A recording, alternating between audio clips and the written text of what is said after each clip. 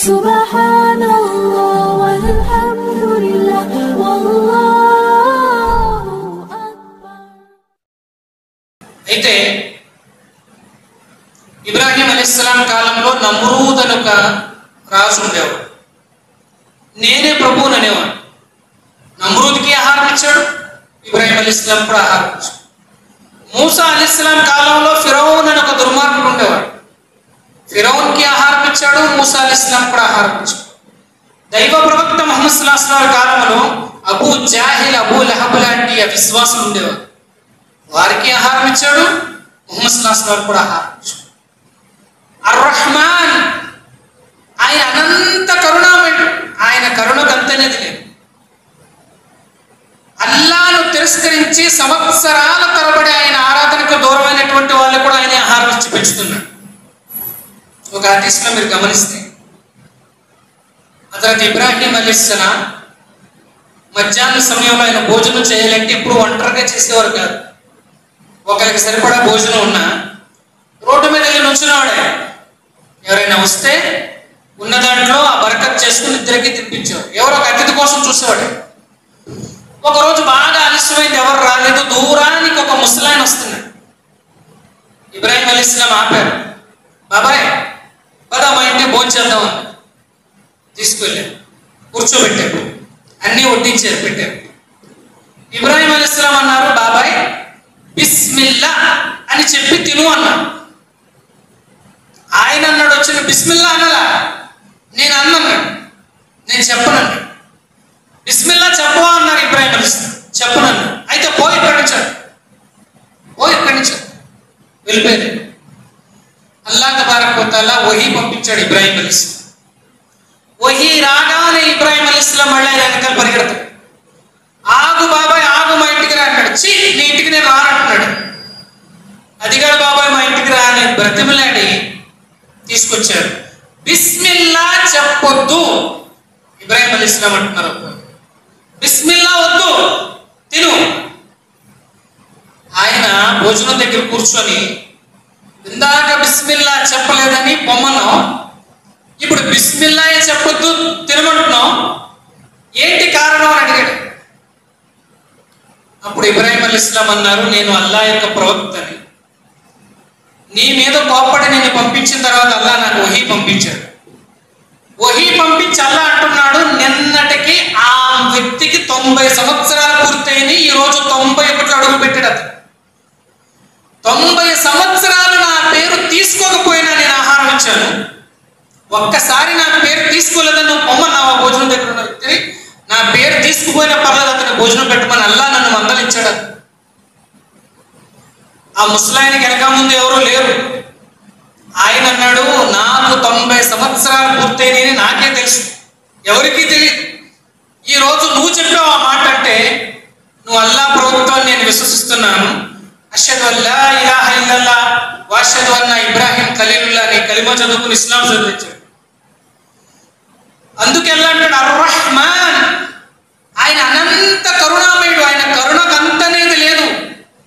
ఆయన కారుణ్యము గురించి ఆయన కరుణ గురించి మీకు తెలియకపోతే కనుక తెలిసిన వారిని అడిగి తెలుసుకోండి. ఫస్ట్ అనుభవికవి ఆయన కారుణ్యాన్ని పాపాత్ములైనటువంటి విశ్వాసులు దృష్టిలో చూస్తే అల్లా కారుణ్యం కనిపిస్తుంది. విశ్వాసులే అల్లా నిషేధించినటువంటి అనేక కార్యాలు చేసేటువంటి పాపాత్ములు. పాపాత్ములైపోయారు విశ్వాసం అలాంటి విశ్వాసుల విషయంలో అల్లా కారుణ్యం గమనిస్తే చాలా విషయాలు కనిపిస్తాయి. ఎందుకంటే అల్లా తబారకతల ఈరోజు రోజు సూర్యుడు చంద్రుడు నక్షత్రాలు ఋతుకాలాలు రాత్రి పగళ్ళు ఇవన్నీ కరెక్ట్గా గ్రహాలు గ్రహాలన్నీ నడుస్తున్నాయంటే ఇదంతా కూడా అల్లా యొక్క కారుణ్యమే. ఎందుకంటే భూమి మీద ఈ మానవుడు చేసే పాపాలు అకృత్యాలు అంతా ఇంత కాదు. ఎవరో ధర్మం తెలియనటువంటి వాళ్ళు పాపాలు చేశారంటే వేరే విషయం. తెలిసిన వాళ్ళు కూడా అల్లా యొక్క ఆజ్ఞలు తిరస్కరించి జీవితాన్ని గడపడం అంటే ఎలాంటి పాపం అది? కానీ అల్లా ద్వారా పోతాల ఈ వీరు చేసేటువంటి పాపాలకల్లా భూమి మీదే కనుక క్లియర్ చేసేయాలనుకుంటే అవకాశాలు ఇవే ఉండేవి కాదు కానీ అల్లా కారుణ్యంతోనే అవన్నీ నడుస్తున్నాయి. అల్లా విశ్వాసులకు అవకాశం ఇస్తున్నాడు అల్లా తబారకు తాలా. ఇంకా మారతారు తెలుసుకుంటారు ఇస్లాం దగ్గర అవుతారు ఒక భయంకరమైన శిక్ష కరోనా వచ్చింది. ఇది ఏమి నేర్పింది? నీ దగ్గర బంగారం ఉండని ఫ్లాట్లు ఉండని భవనాలు ఉన్నాయి పొలాలు ఉన్నాయి ఆస్తులు ఉన్నాయి ఏమంటే ఉండని నీ ప్రాణాన్ని నువ్వు కాపాడుకోలేవు ఎన్నున్నా నీకు ఉపయోగం లేదు అలాంటి విషయాన్ని అల్లా తబారకోతాల స్పష్టం చేశాడు దీని ద్వారా మరి అలాంటి పరిస్థితుల్లో ఇప్పుడు ప్రజెంట్ చేయాల్సింది అల్లా వైపు మరలటం మస్జిద్ వైపుకి రావటం నమాజ్ చదవటం అల్లాతో క్షమాపణ వేడటం ఇది ముఖ్యం ఈ సమయం. అల్లా ఈ శిక్షను దూరం చేయాలంటే చేయాల్సింది ముఖ్యమైనది మస్జిద్ వైపు రావటం నమాజ్ చదవటం దువా చేయటం అల్లాతో ఇస్తిక్ఫార్ చేయటం క్షమాపణ వేడటం అల్లాతో. తద్వారా అల్లా క్షమాపణం కలవాడు క్షమించేవాడు అల్లా అయితే ఇలాంటి అవకాశము ప్రవక్త ముహమ్మద్ సల్లాహు వారు ఉమ్మతికి ఈ అవకాశం ఉంది. క్షమాపణ అంటే క్షమించడం అల్లా కరుణించడం. తన కారుణ్యంలో తీసుకోవడం. అదే ముందు ప్రవక్తల వైపు వెళ్ళారనుకోండి ఆ అవకాశం కూడా లేదు. ఉదాహరణకి మూసా ఇస్లాం కాలంలో ఆవుతోడ ముందు సజ్జా చేశారు. సాష్టాంగం చేశారు.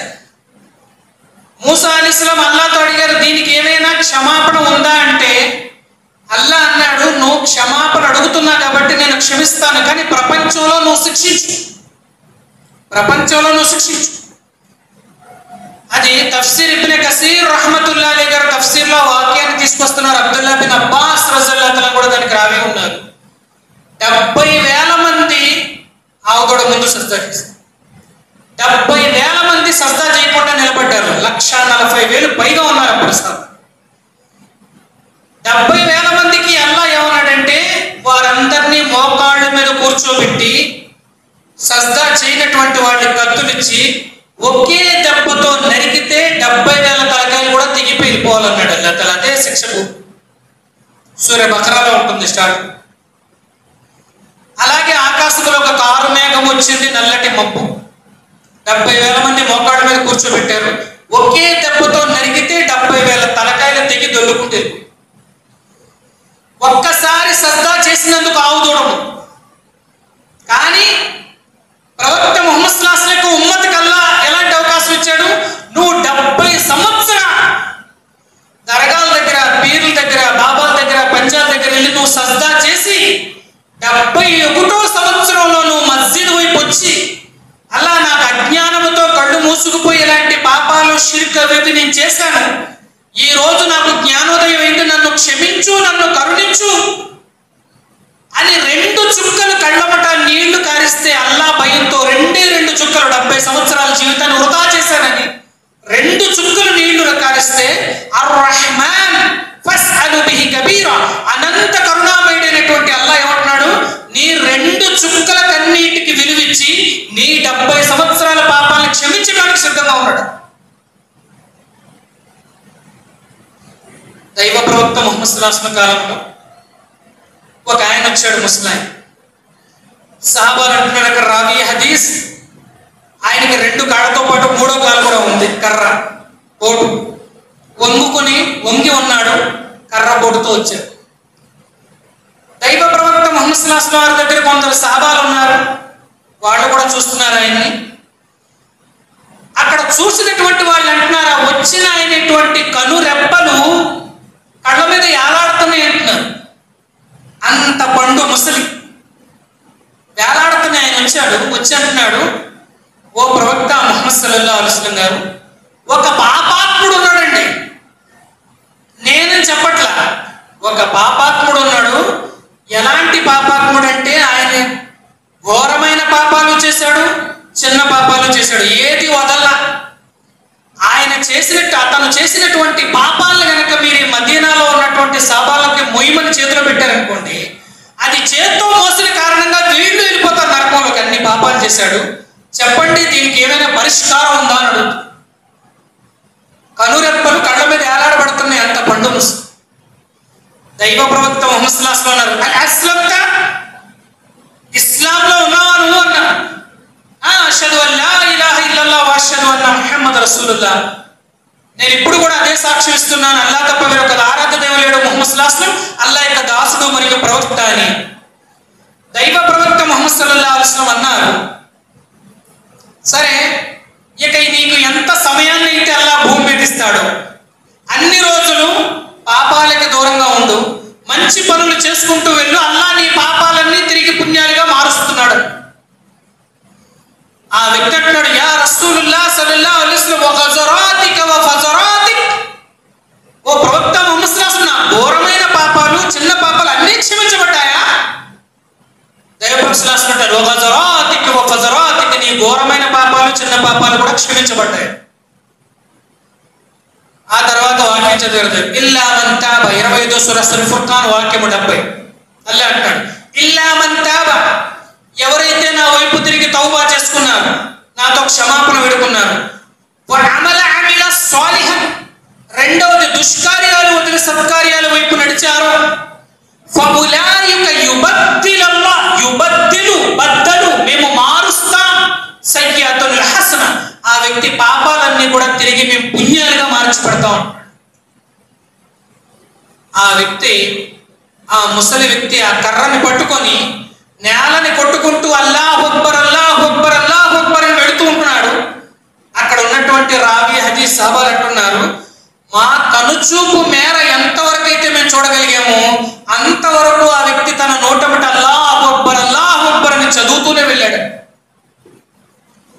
చూడండి పండు ముసలి చెయ్యినటువంటి పాపం లేదు.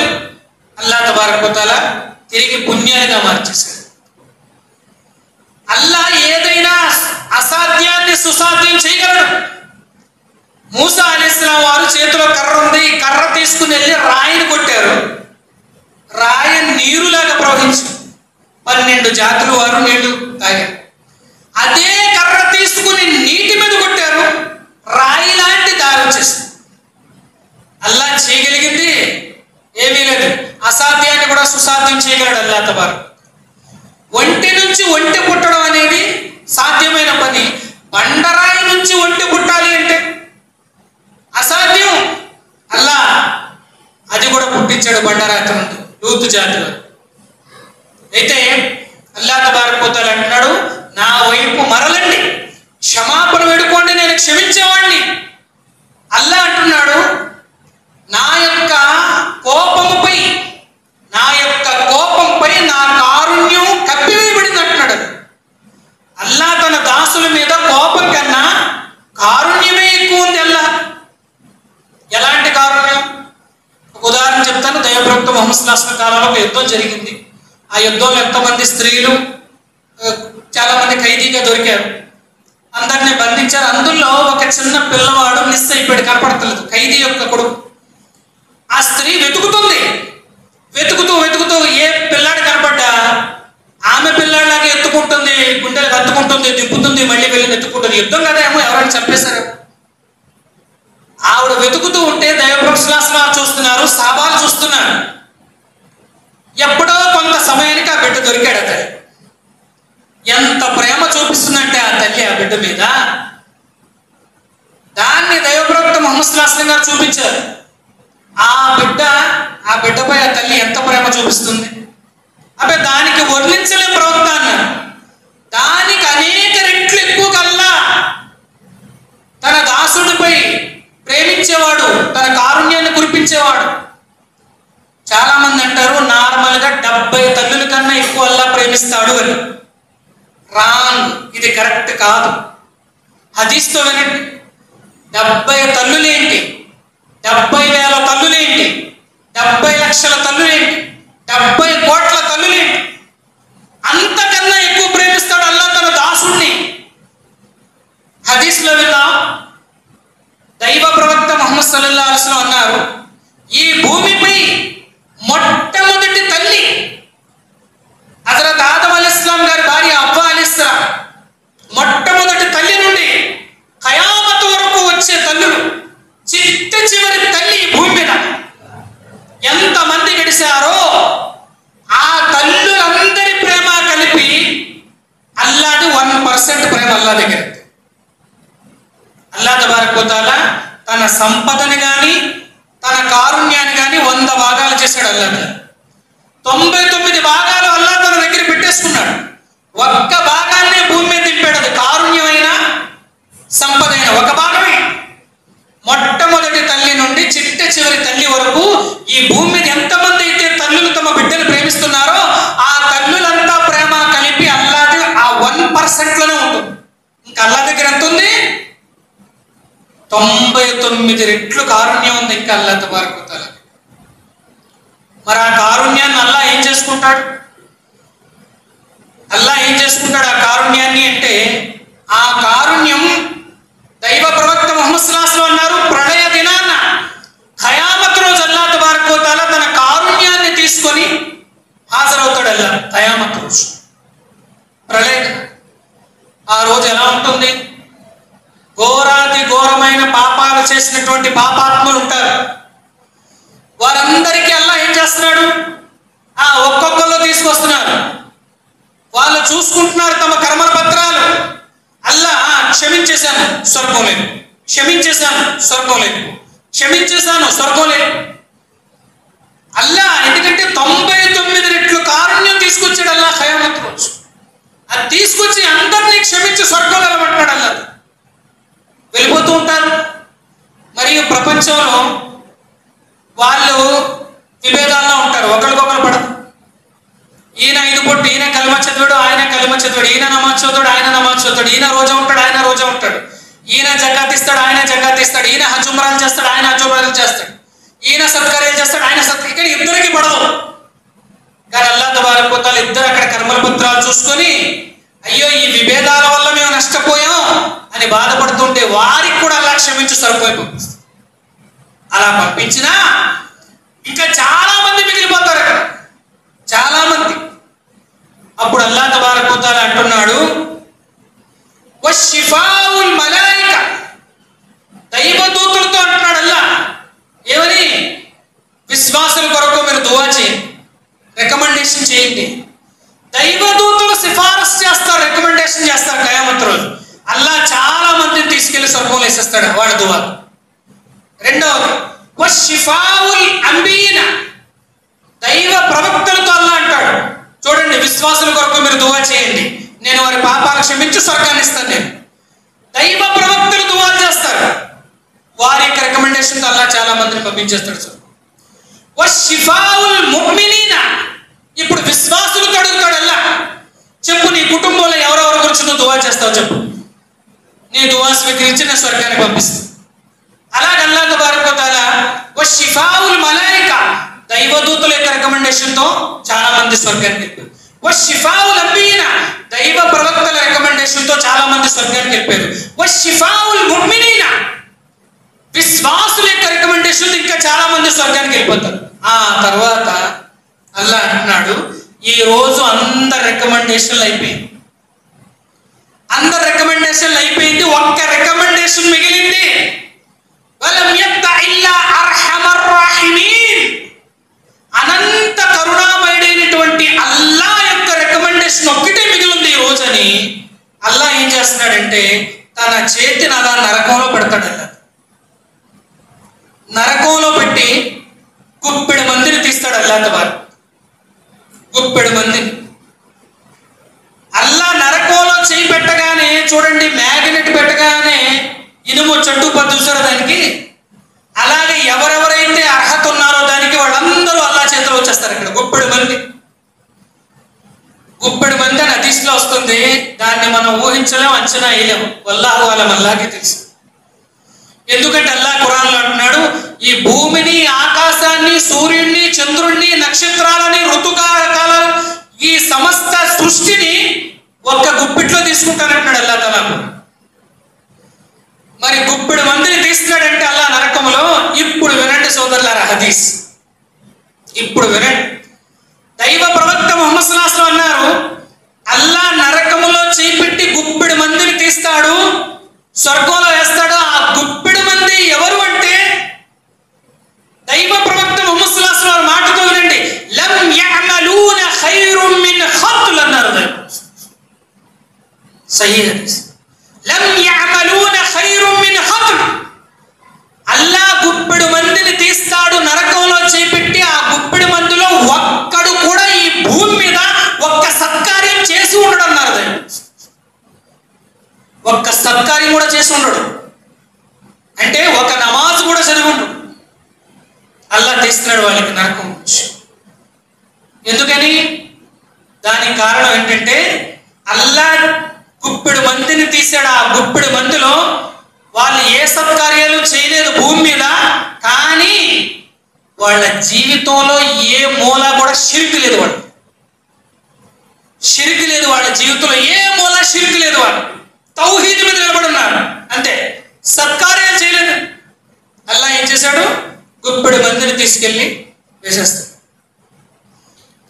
ఆ రోజు అంత కారుణ్యంలో ఘోరాతి ఘోరమైన పాపాత్ములు మా పని అయిపోయింది మేము నరకంలోకి వెళ్తాం అనుకునే వాళ్ళు కూడా స్వర్గంలోకి అల్లా క్షమించి పంపించేస్తూ ఉంటే క్యూగట్ అందరినీ దైవ ప్రవక్త ముహమ్మద్ సుల్లాహం అన్నారు శైతాన్ శైతాన్ మనసులో కూడా శైతాన్ ఫిక్స్ అయిపోతాడంట ఏమని ఈ రోజు నేను కూడా జన్నతి నేను స్వ- స్వర్గానికి వెళ్ళిపోతాను శైతాన్ మనసులో కూడా వచ్చేదంట ఈ రోజు నేను జన్నతినే నేను స్వర్గవాసనే అల్లా నన్ను క్షమించేస్తాడు అని శైతాన్ మనసులో కూడా నమ్మకం వచ్చేస్తుంది. అల్లా యొక్క కారుణ్యం అలాంటిది అన్నారు సోదరులారా అలాంటి కారుణ్యము తొంభై తొమ్మిది రెట్లు కారుణ్యం అల్లా దగ్గర ఉంది. వన్ పర్సెంట్ ఈ భూమి మీద ఉంది.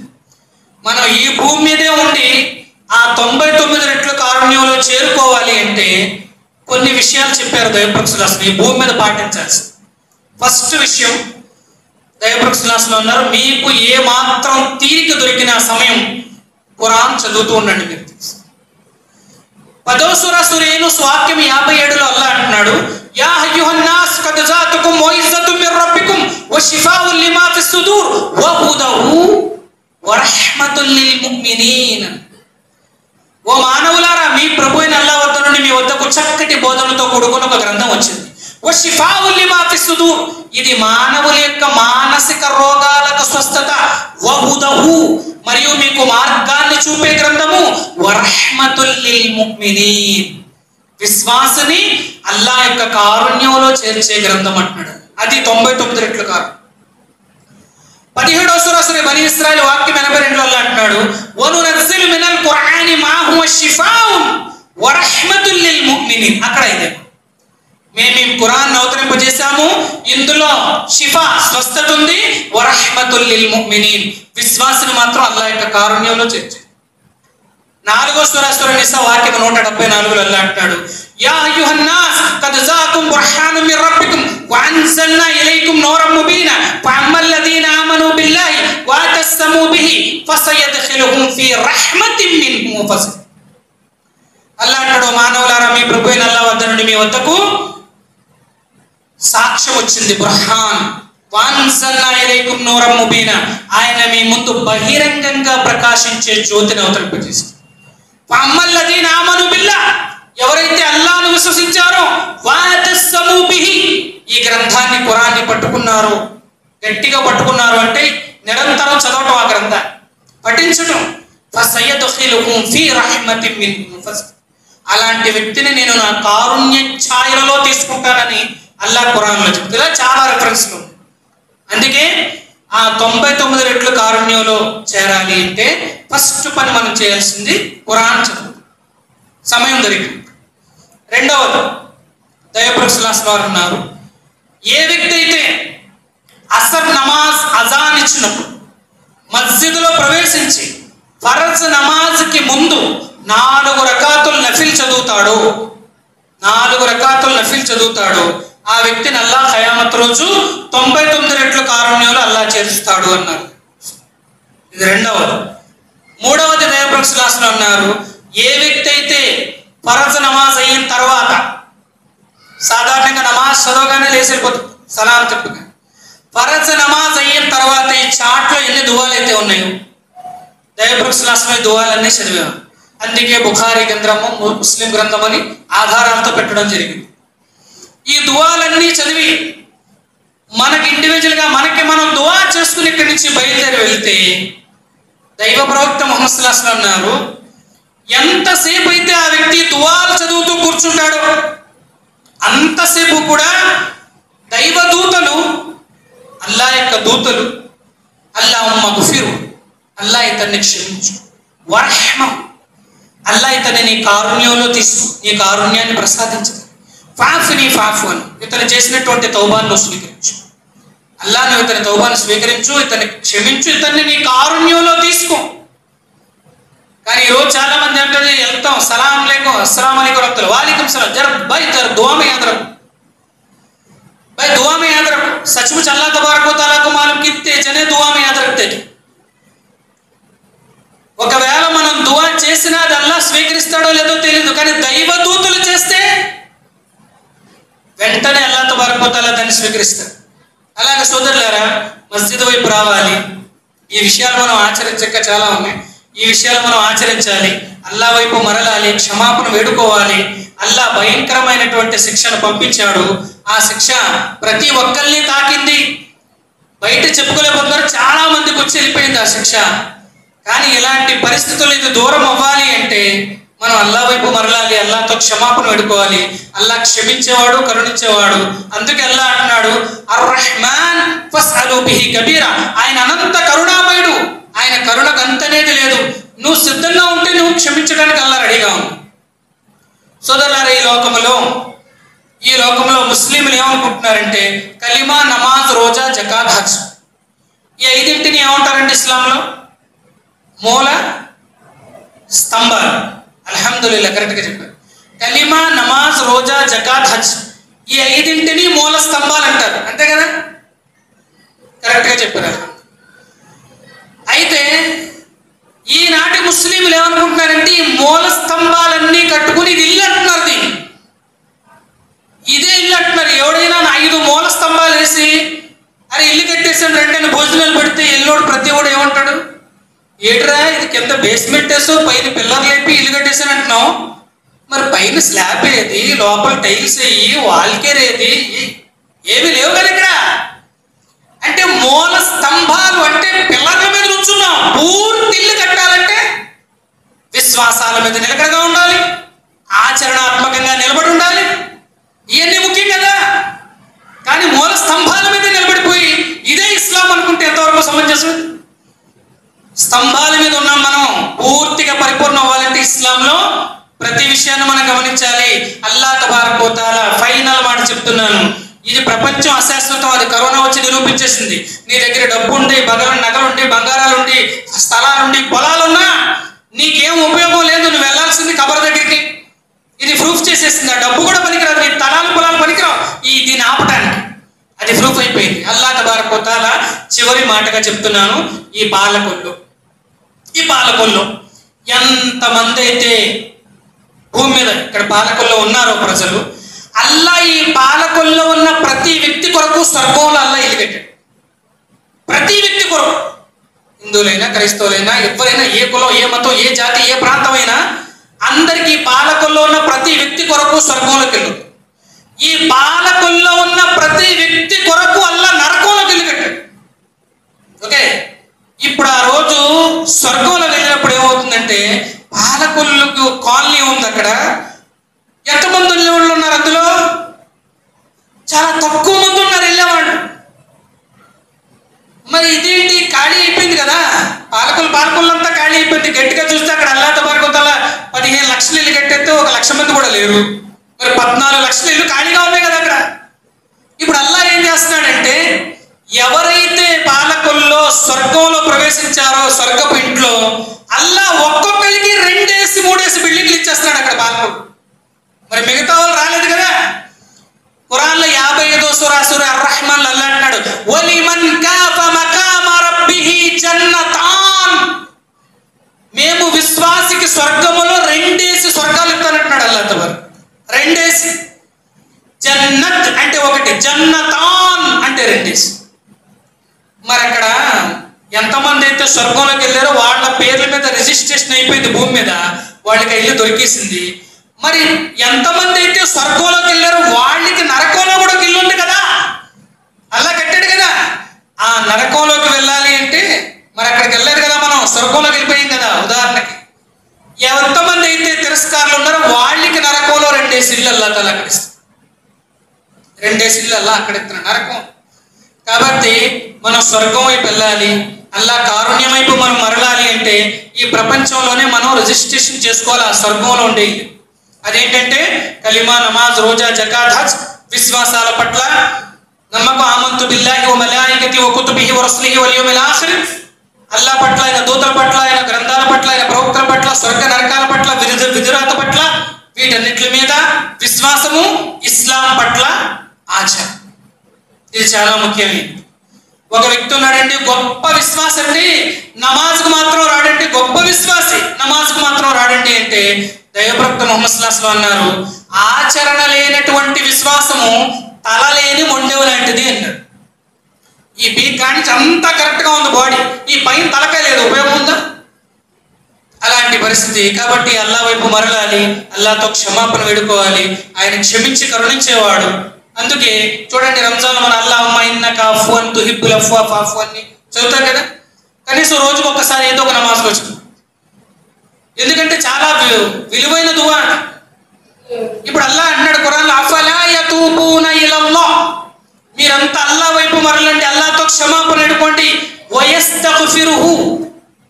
క్షమాపణ వేడుకోండి అల్లాతో. వల్లాహు గఫూరు రహీం అల్లా గఫూర్. గఫూర్ అంటే తెలుసా మీకు?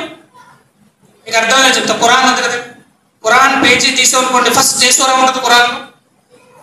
సూర్య ఫాతిహ. అల్హమ్దుల్లాహి రబ్బిల్ ఆలమీన్. ఆ సూరా మీద ఒక కచ్చి వేసేయండి దాని మీద కప్పేయండి. కనపడుతుందా సూర? తెల్లటి కచ్చి కప్పేసాం. ఆ సూర మీద కనపడుతుందా? కానీ వెనకాల ఉందా లేదా? సూర ఉంది కదా మనం కచ్చి వేసాం దాని మీద కనపడతాం. అంతే కదా? గఫూర్ అంటే అర్థం ఏంటంటే ఎన్నో ఘోరమైన పాపాలు చేసేసాం. మన పాపాల లిస్ట్- తల్ల దగ్గర ఉంది. అమ్మో నేను ఇక నరకానికి వెళ్ళిపోతాను ఇక నాకు క్షమాపణ లేదు నేను నా ప్రతిదీ ఇక్కడ రికార్డ్ అయిపోయింది అని భయపడే సమయంలో అల్లా అంటున్నాడు గఫూరు రహీం నీ కర్మల పత్రం మీద నేను తెర కప్పేస్తున్నాను నువ్వు స్వర్గానికి వెళ్ళిపోతున్నాడు గఫూర్ అంటే ఉన్న అమాల్ని కప్పేస్తాడు అలా తెరేసి కప్పేయడానికి గఫూర్ అంటారు. అఫ్వాన్ అంటే తెలుసా? అఫ్వాన్ అంటే ఇప్పుడు సూర్య ఫాతిహ ఉంది కదా దాన్ని అలా చెరిపేస్తాడు అల్లా ప్యూర్ వైట్ కాగితం అయిపోతాడు అఫ్వన్ అంటే అర్థం ఏంటంటే తుడిచేస్తాడు. నీకు ఎన్ని పత్రాలు పెట్టుకొని చూపితే అందులో ఏముండదు ఇక. అఫ్వన్ అంటే కాబట్టి అల్లా తన దాసుల్ని క్షమించేవాడు కరుణించేవాడు అల్లా స్వర్గం వైపు తీసుకువెళ్ళేవాడు ఆ ఏదో లేండి లాస్ట్ అడుగు దర్జాలన్నా స్వర్గంలో పడిపోతాం కదా ఆ, అక్కడికి వెళ్తే చాలు. పాలకొల్లో ఇదిగో ఈ సైట్ ఉందండి ఇంత సైటు? ఎంత అంటే విలువ అంటే ఒక కోటి రూపాయలు ఉంటుందండి అంటే మాట వరుస. ఈ మధ్య ఎదురుకున్నాం ఓకే. ఇదే స్థలం విజయవాడ బెంచ్ సర్కిల్ పక్కన ట్రంట్ సెట్ ఉంది. అక్కడ ఎంత ఉంటుంది? ఎంత ఉంటుంది? ఇక్కడ కోటి రూపాయలు అయితే అక్కడ వంద కోట్లు. అలాగే కింద స్థాయి కన్నా స్వర్గంలో పై స్థాయి అంటే అంత విలువగా ఉంటుంది. కాబట్టి అల్లా తాలా తదు అల్లా తబారకు తాలా ఎంతమంది అయితే విషయాలు విన్నారు. అల్లా నీ యొక్క కారుణ్యాన్ని ప్రతి విశ్వాసైన కుటుంబంపై అల్లా నువ్వు కురిపించల్లా. అల్లా మా అందరి పాపాలు క్షమించు. మమ్మల్ని భయంకరమైన శిక్ష నుండి రక్షించు. అలా మేమందరం అజాన్ అవగానే మస్జిద్కి వచ్చి నీ యొక్క నమాజ్ కార్యాన్ని ఆచరించే భాగ్యాన్ని ప్రసాదించు. బ్రతికినంత కాలం ఖురాన్ అది చదువుతూ దాన్ని ఆచరించే భాగ్యాన్ని ప్రసాదించు. ఆమెను. ఆఖరి